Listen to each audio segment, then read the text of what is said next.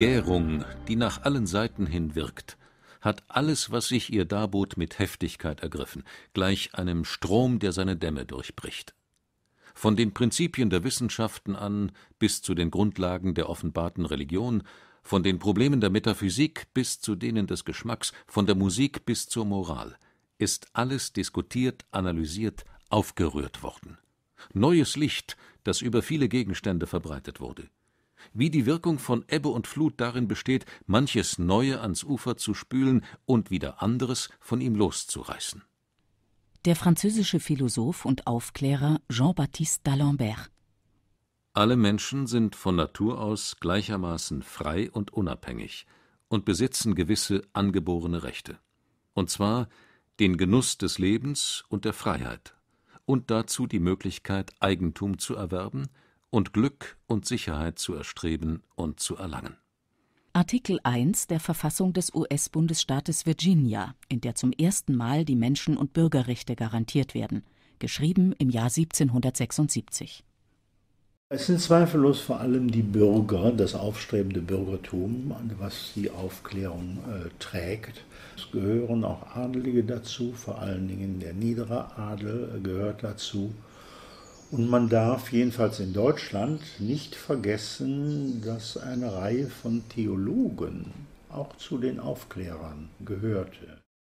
Werner Schneiders, Philosophieprofessor an der Universität Münster und einer der herausragendsten Forscher über die Epoche der Aufklärung.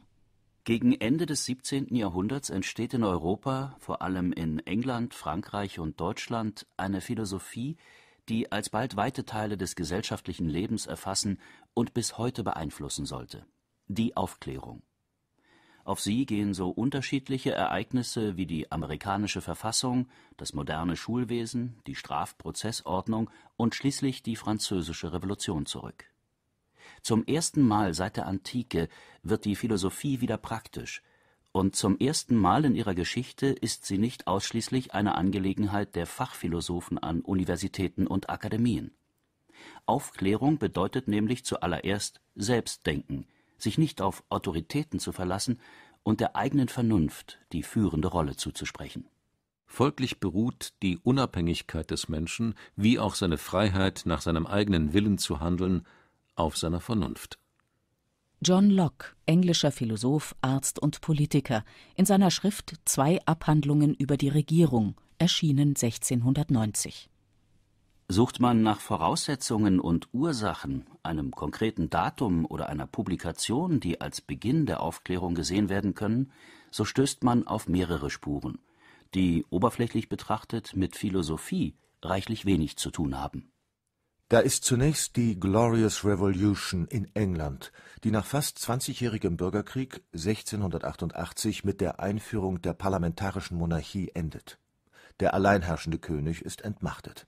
Bereits im Jahr 1685 hebt Frankreichs katholischer Herrscher Ludwig XIV. das Edikt von Nantes auf, das den französischen Protestanten bis dahin Schutz vor Verfolgung garantierte. Tausende der sogenannten Hugenotten müssen aus Frankreich fliehen und sinnen fortan auf eine Gesellschaftsordnung, in der sie in Frieden leben können. Unter dem Schlachtruf Wissen ist Macht sind die Naturwissenschaften auf dem Vormarsch. Nicht mehr der religiöse Glaube, sondern der wissenschaftlich geführte Beweis einer Behauptung wird nun zum Hauptkriterium von Wahrheit. Damit werden die Naturwissenschaften zu einem Modell des Denkens unabhängig von religiösen und politischen Dogmen. 1687 ein akademischer Skandal erschüttert Deutschland. Der Hallenser Jurist und Philosophieprofessor Christian Thomasius veröffentlicht sein Buch Ausübung der Vernunftlehre auf Deutsch und nicht auf Lateinisch. Damit wird Philosophie nach und nach einem breiteren Publikum zugänglich.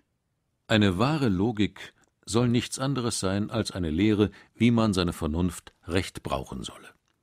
Ich habe in dem ersten Teile meiner Vernunftlehre gezeigt, wie so gar leichte die Erkenntnis der Wahrheit und die Erfindung neuer Wahrheiten in allen Disziplinen sei, wenn man nur sein Gemüte von dem hochschädlichen Vorurteile menschlicher Autorität saubern und sich das Leben nicht sauer machen lassen wolle.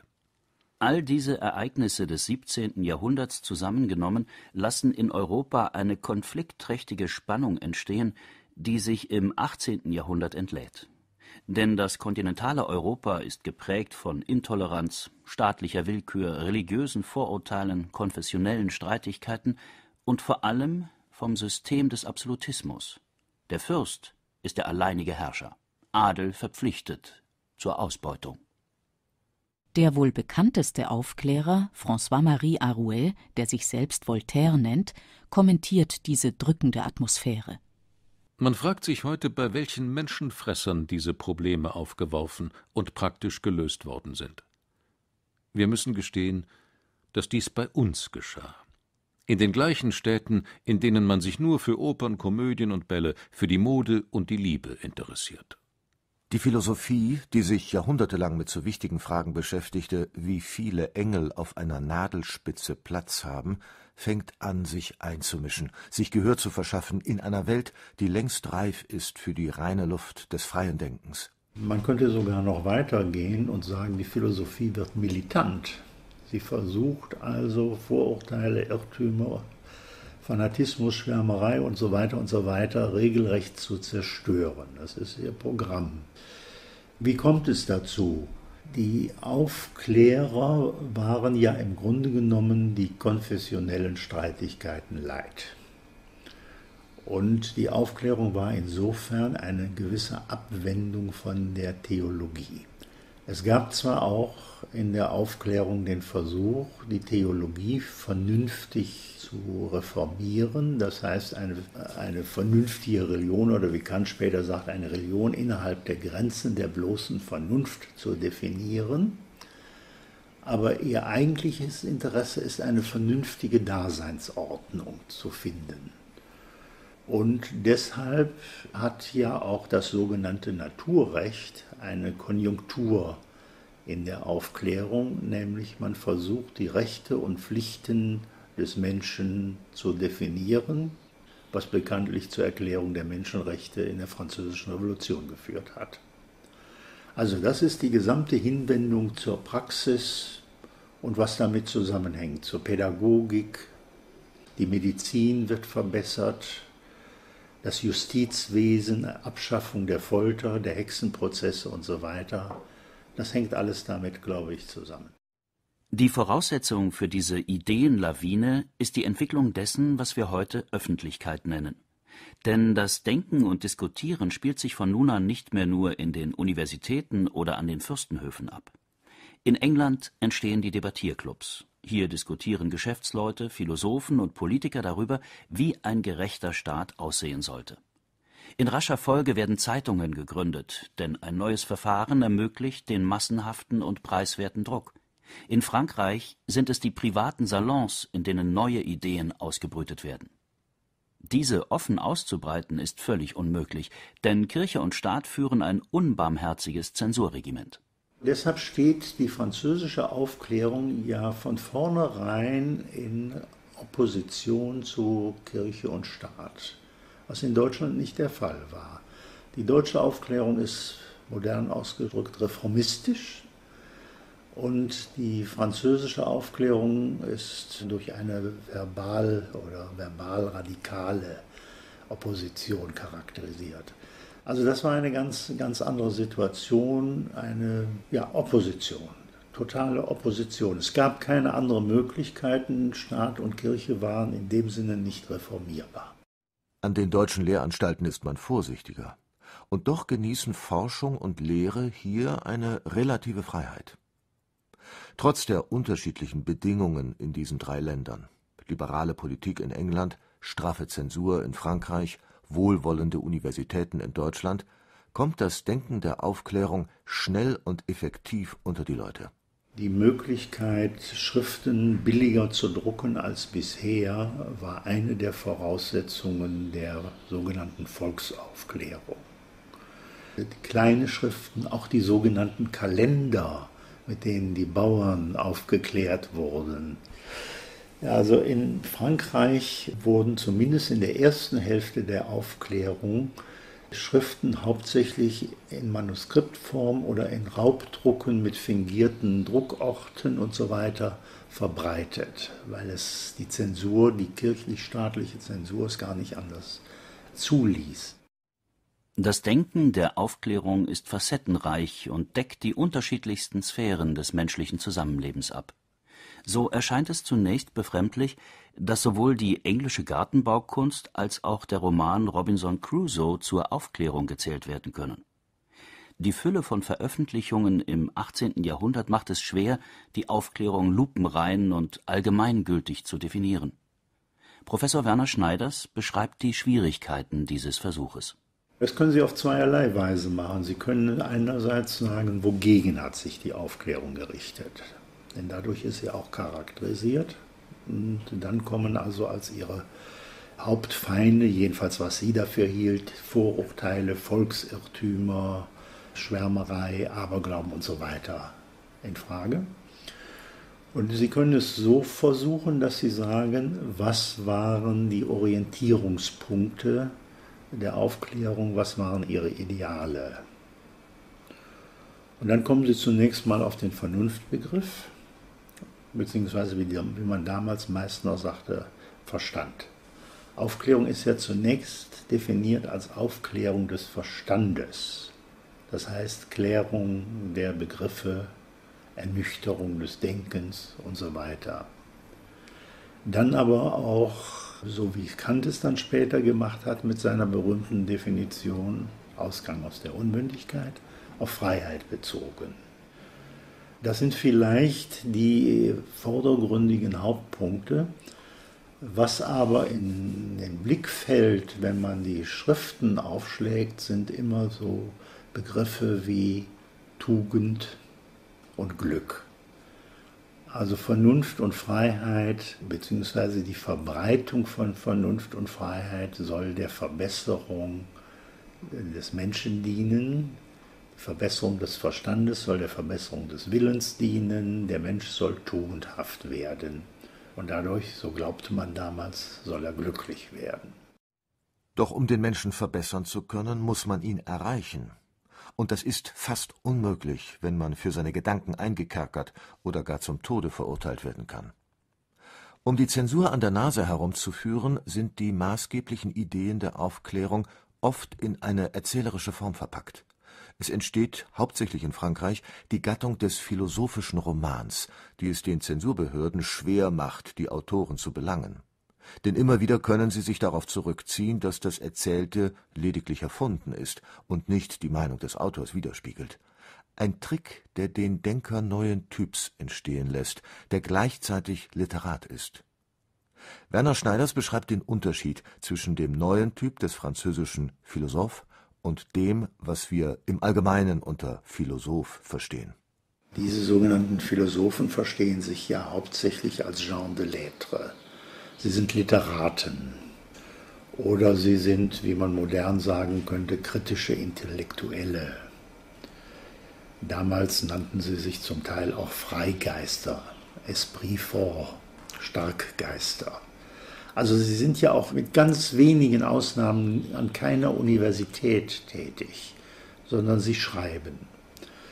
Sie müssen sich aber natürlich auch ernähren und das kann man nicht nur durch Schreiben, damals jedenfalls nicht. Und dafür brauchten sie Mäzene. Die deutschen Fachphilosophen waren Beamte, sie wurden von ihrem Fürsten besoldet. Die französischen Philosophen waren von ihren Mäzenen abhängig. Das ist eine ganz andere Kultur als in Deutschland, was aber damit zusammenhängt, dass es in Frankreich eine Zentralmonarchie gibt mit einer Hauptstadt, in der sich alle großen Geister sozusagen sammeln. Diese Sammlung der großen Geister in Paris führt zu einem Projekt, das wie kein anderes mit dem Denken der Aufklärung in Verbindung gebracht werden muss. Die sogenannte Enzyklopädie, ein gewaltiges Lexikonwerk, an dem zeitweise bis zu 200 Autoren beteiligt sind. Ihre Herausgeber, Denis Diderot und D'Alembert, wollen das gesamte Wissen ihrer Zeit den Menschen zur Verfügung stellen. Denn Wissen, so ihre Überzeugung, macht Menschen unabhängig, immunisiert sie gegen Vorurteile, Aberglaube und Dummheit und sorgt schließlich dafür, dass sie in der Lage sind, einen Staat zu führen. Denis Diderot in seinem Vorwort zur Enzyklopädie. Der aufgeklärteste Mensch wird darin Ideen finden, die ihm neu sind, und Tatsachen, die er nicht kennt. Möge die allgemeine Bildung so schnell fortschreiten, dass es nach zwanzig Jahren in tausend Seiten von uns kaum noch eine Zeile gibt, die nicht etwas überall Bekanntes sagt. Es ist Sache der Herrscher der Welt, diese glückliche Umwälzung zu beschleunigen. Denn sie können den Kreis der Aufklärung erweitern oder einschränken. Gelobt sei die Zeit, in der sie alle begriffen haben, dass ihre Sicherheit darin besteht, über gebildete Menschen zu gebieten. Die Enzyklopädie saust wie ein Hammerschlag in die französische Gesellschaft. Denn von nun an kann jeder nachlesen, wie die Definition des Begriffes Religion aussieht, die nicht von einem Theologen geschrieben ist. Was Regierung bedeutet, unabhängig davon, was ein Fürst darunter versteht. Durch die Enzyklopädie wird vor allem eines deutlich. Wir haben als Menschen die Möglichkeit, uns mit Hilfe des bloßen Verstandes in der Welt zu orientieren. Wir brauchen keine kirchlichen oder staatlichen Autoritäten, die für uns das Denken übernehmen. Wir werden wohl nie so glücklich sein wie die Dummköpfe, aber versuchen wir es wenigstens auf unsere Art. François-Marie Arouet, genannt Voltaire. Satzungen und Formeln sind die Fußschellen einer immerwährenden Unmündigkeit. Wer sie auch abwürfe, würde dennoch auch über den schmalesten Graben einen unsicheren Sprung tun, weil er zu dergleichen freier Bewegung nicht gewöhnt ist. Der deutsche Philosoph Immanuel Kant für was sollte es gut sein, unser Glück in der Meinung anderer zu suchen, wenn wir es in uns selbst finden können? Überlassen wir anderen die Sorge, die Völker über ihre Pflichten zu belehren, beschränken wir uns darauf, die unseren gut zu erfüllen. Jean-Jacques Rousseau, Philosoph und Schriftsteller, Autor der Schrift Der Gesellschaftsvertrag.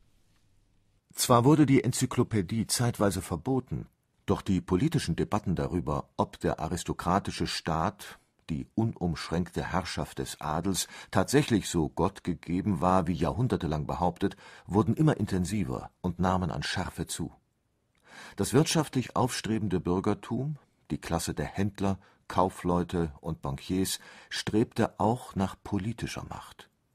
Im Denken der Aufklärer fanden sie ihre nötige Munition für den Kampf gegen Klerus und Aristokratie.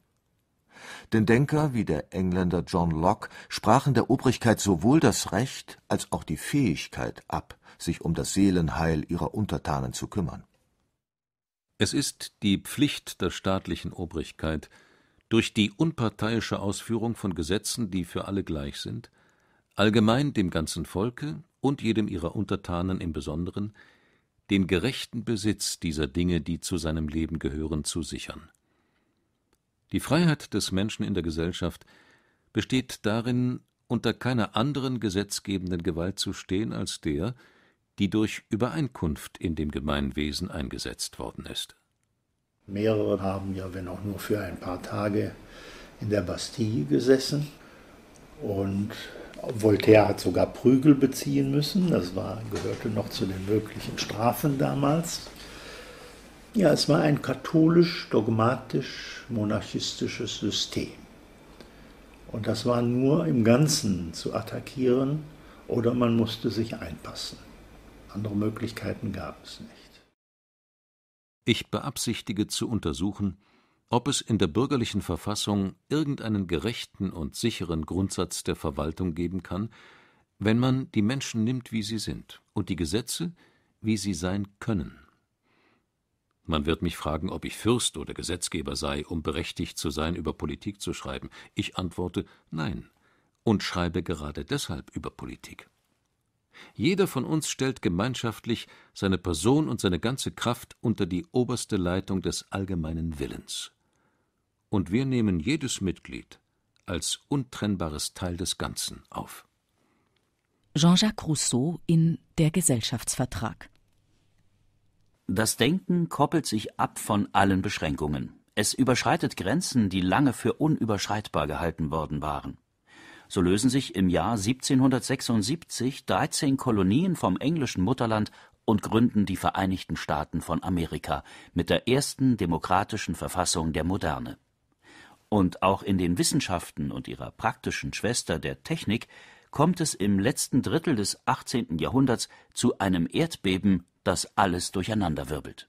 Entdeckung des Südkontinents Australien, Erfindung des Blitzableiters, Konstruktion der ersten Dampfmaschine. Der Planet Uranus wird gefunden. Erster Flug mit einem Fesselballon. Die Stahlverarbeitung wird revolutioniert. Die elektrischen Impulse in unserem Nervensystem werden entdeckt. Unser 18. Jahrhundert wird sich sicherlich nicht zu schämen haben, wenn es dereinst sein Inventarium von neu erworbenen Kenntnissen und angeschafften Sachen an das 19. übergeben wird, auch selbst wenn die Überreichung morgen geschehen müsste. Der deutsche Physiker und Philosoph Georg Christoph Lichtenberg Im Jahr 1789 entwickelt das Denken der Aufklärung ihr politisches Postulat, allen Despotien und Diktaturen den Garaus zu machen, auch eine ganz Europa erschütternde politische Sprengkraft: die Französische Revolution. Ihre Forderungen nach Freiheit, Gleichheit, Brüderlichkeit gehen auf die Theorien der Aufklärer zurück. Zum ersten Mal werden in Europa die freie Meinungsäußerung, Presse und Religionsfreiheit festgeschrieben, wenn auch nur für kurze Zeit. Denn schon bald beginnt eine neue Gewaltherrschaft die in die Diktatur eines einzigen Mannes mündet: Napoleon. Aber ist damit das Projekt Aufklärung erledigt? Wohl kaum, denn schon Jean-Jacques Rousseau hatte darauf hingewiesen, dass Aufklärung und die aus ihr resultierende Staatsform der Demokratie ein immerwährender Prozess ist. Schließlich will ich noch bemerken, dass keine Regierung in so hohem Grade inneren Erschütterungen ausgesetzt ist als die demokratische. Weil keine andere so heftig und so unaufhörlich nach Veränderung der Form strebt und keine mehr Wachsamkeit und Mut zur Aufrechterhaltung ihrer bestehenden Form verlangt. Ich glaube, dass kein vernünftiger Mensch glauben kann, dass man die Aufklärung des 18. Jahrhunderts einfach wiederbeleben könnte und äh, hier neu propagieren könnte. Aber Aufklärung ist ja ein Begriff, der nicht nur historisch ist, sondern ist ja zunächst mal und immer wieder ein universal zu gebrauchender Begriff, ein programmatischer Begriff, der eine bestimmte Aktion bezeichnet, auch militärische, sexuelle Aufklärung und so etwas, also Aufklärung von Tatsachen und Begriffen. Und in diesem Sinne ist ja Aufklärung eine unvollendbare Aufgabe. Und auch das, was die Aufklärer sich als Feinde vorgenommen haben, hat ja nicht aufgehört. Die Welt ist ja immer noch voller Aberglauben. Und gerade auch der politische Aberglaube ist ja heutzutage noch ein großes Problem. In seiner Schrift Zwei Abhandlungen über die Regierung, erschienen 1690. Sucht man nach Voraussetzungen und Ursachen, einem konkreten Datum oder einer Publikation, die als Beginn der Aufklärung gesehen werden können, so stößt man auf mehrere Spuren, die oberflächlich betrachtet mit Philosophie reichlich wenig zu tun haben. Da ist zunächst die Glorious Revolution in England, die nach fast zwanzigjährigem Bürgerkrieg 1688 mit der Einführung der parlamentarischen Monarchie endet. Der alleinherrschende König ist entmachtet Bereits im Jahr 1685 hebt Frankreichs katholischer Herrscher Ludwig XIV. das Edikt von Nantes auf, das den französischen Protestanten bis dahin Schutz vor Verfolgung garantierte. Tausende der sogenannten Hugenotten müssen aus Frankreich fliehen und sinnen fortan auf eine Gesellschaftsordnung, in der sie in Frieden leben können. Unter dem Schlachtruf Wissen ist Macht sind die Naturwissenschaften auf dem Vormarsch nicht mehr der religiöse Glaube, sondern der wissenschaftlich geführte Beweis einer Behauptung wird nun zum Hauptkriterium von Wahrheit. Damit werden die Naturwissenschaften zu einem Modell des Denkens unabhängig von religiösen und politischen Dogmen. 1687 ein akademischer Skandal erschüttert Deutschland. Der Hallenser Jurist und Philosophieprofessor Christian Thomasius veröffentlicht sein Buch Ausübung der Vernunftlehre auf Deutsch und nicht auf Lateinisch.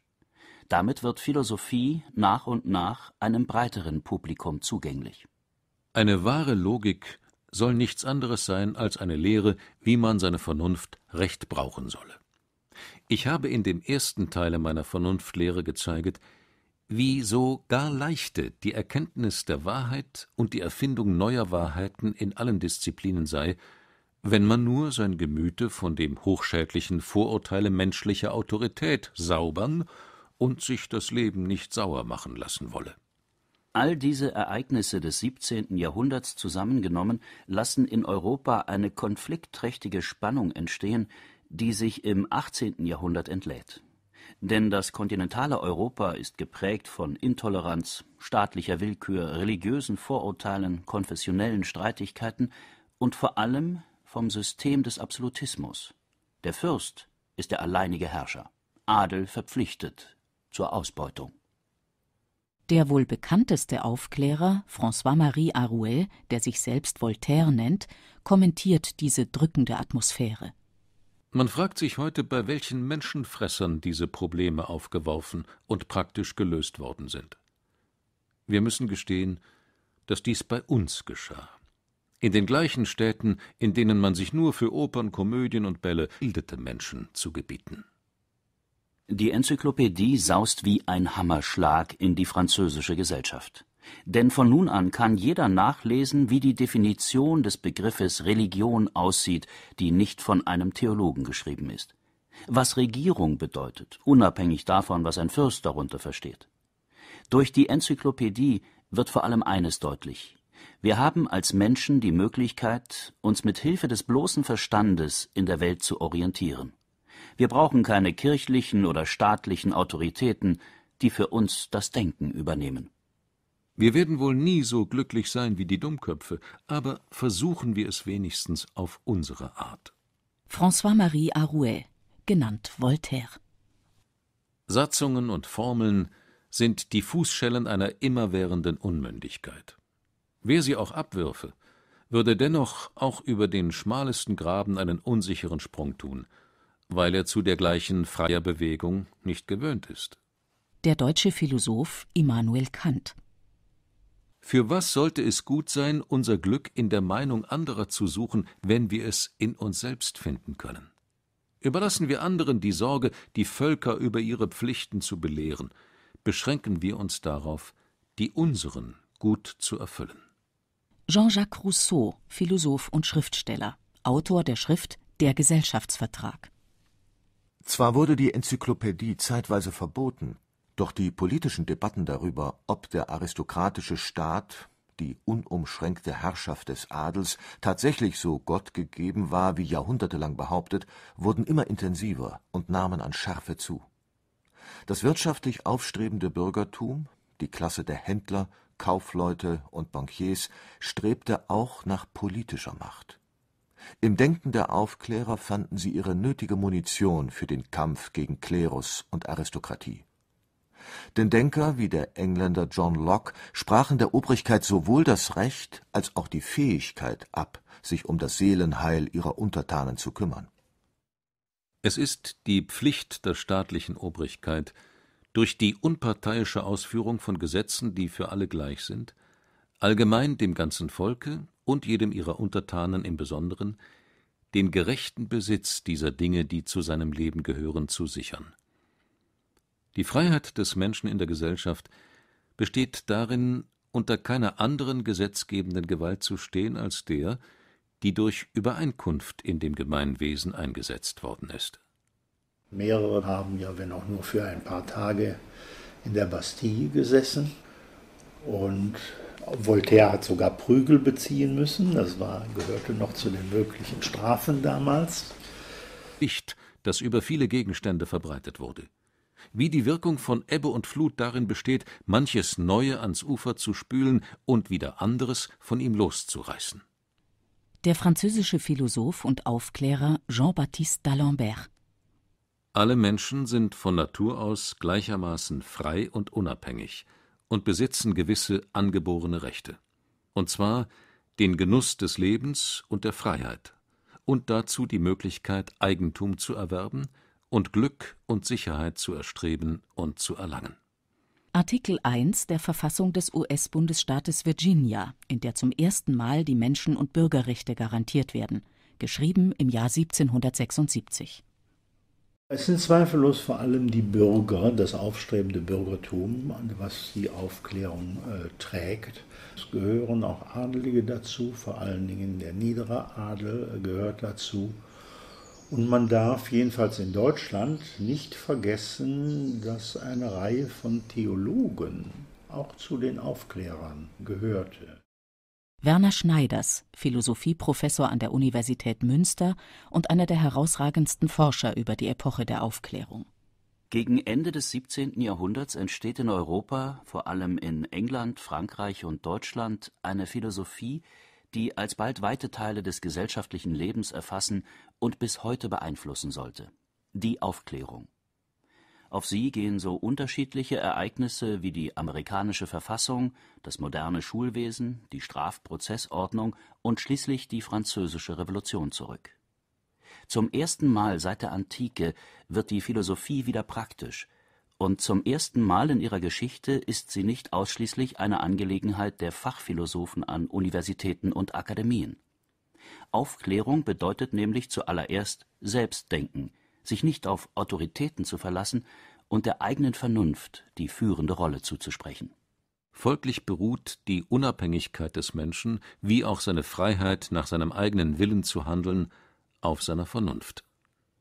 John Locke, englischer Philosoph, Arzt und Politiker, in seiner Schrift Zwei Abhandlungen über die Regierung, erschienen 1690 Sucht man nach Voraussetzungen und Ursachen, einem konkreten Datum oder einer Publikation, die als Beginn der Aufklärung gesehen werden können, so stößt man auf mehrere Spuren, die oberflächlich betrachtet mit Philosophie reichlich wenig zu tun haben. Da ist zunächst die Glorious Revolution in England, die nach fast zwanzigjährigem Bürgerkrieg 1688 mit der Einführung der parlamentarischen Monarchie endet. Der alleinherrschende König ist entmachtet Bereits im Jahr 1685 hebt Frankreichs katholischer Herrscher Ludwig XIV. sind von Natur aus gleichermaßen frei und unabhängig und besitzen gewisse angeborene Rechte, und zwar den Genuss des Lebens und der Freiheit und dazu die Möglichkeit, Eigentum zu erwerben und Glück und Sicherheit zu erstreben und zu erlangen Artikel 1 der Verfassung des US-Bundesstaates Virginia, in der zum ersten Mal die Menschen- und Bürgerrechte garantiert werden, geschrieben im Jahr 1776. Es sind zweifellos vor allem die Bürger, das aufstrebende Bürgertum, was die Aufklärung äh, trägt. Es gehören auch Adelige dazu, vor allen Dingen der niedere Adel äh, gehört dazu. Und man darf jedenfalls in Deutschland nicht vergessen, dass eine Reihe von Theologen auch zu den Aufklärern gehörte. Werner Schneiders, Philosophieprofessor an der Universität Münster und einer der herausragendsten Forscher über die Epoche der Aufklärung. Gegen Ende des 17. Jahrhunderts entsteht in Europa, vor allem in England, Frankreich und Deutschland, eine Philosophie, die alsbald weite Teile des gesellschaftlichen Lebens erfassen und bis heute beeinflussen sollte: die Aufklärung. Auf sie gehen so unterschiedliche Ereignisse wie die amerikanische Verfassung, das moderne Schulwesen, die Strafprozessordnung und schließlich die Französische Revolution zurück. Zum ersten Mal seit der Antike wird die Philosophie wieder praktisch und zum ersten Mal in ihrer Geschichte ist sie nicht ausschließlich eine Angelegenheit der Fachphilosophen an Universitäten und Akademien. Aufklärung bedeutet nämlich zuallererst Selbstdenken, sich nicht auf Autoritäten zu verlassen und der eigenen Vernunft die führende Rolle zuzusprechen. Folglich beruht die Unabhängigkeit des Menschen wie auch seine Freiheit, nach seinem eigenen Willen zu handeln, auf seiner Vernunft John Locke, englischer Philosoph, Arzt und Politiker, in seiner Schrift Zwei Abhandlungen über die Regierung, erschienen 1690. Sucht man nach Voraussetzungen und Ursachen, einem konkreten Datum oder einer Publikation, die als Beginn der Aufklärung gesehen werden können, so stößt man auf mehrere Spuren, die oberflächlich betrachtet mit Philosophie reichlich wenig zu tun haben da ist zunächst die Glorious Revolution in England, die nach fast zwanzigjährigem Bürgerkrieg 1688 mit der Einführung der parlamentarischen Monarchie endet. Der alleinherrschende König ist entmachtet. Bereits im Jahr 1685 hebt Frankreichs katholischer Herrscher Ludwig XIV. das Edikt von Nantes auf, das den französischen Protestanten bis dahin Schutz vor Verfolgung garantierte. Tausende der sogenannten Hugenotten müssen aus Frankreich fliehen und sinnen fortan auf eine Gesellschaftsordnung, in der sie in Frieden leben können.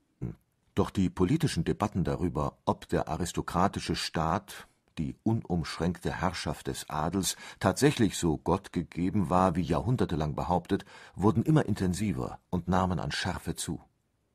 Das wirtschaftlich aufstrebende Bürgertum, die Klasse der Händler, Kaufleute und Bankiers, strebte auch nach politischer Macht. Im Denken der Aufklärer fanden sie ihre nötige Munition für den Kampf gegen Klerus und Aristokratie.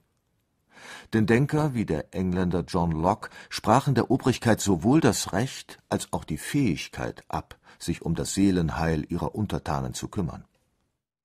Es ist die Pflicht der staatlichen Obrigkeit, durch die unparteiische Ausführung von Gesetzen, die für alle gleich sind, allgemein dem ganzen Volke und jedem ihrer Untertanen im Besonderen, den gerechten Besitz dieser Dinge, die zu seinem Leben gehören, zu sichern.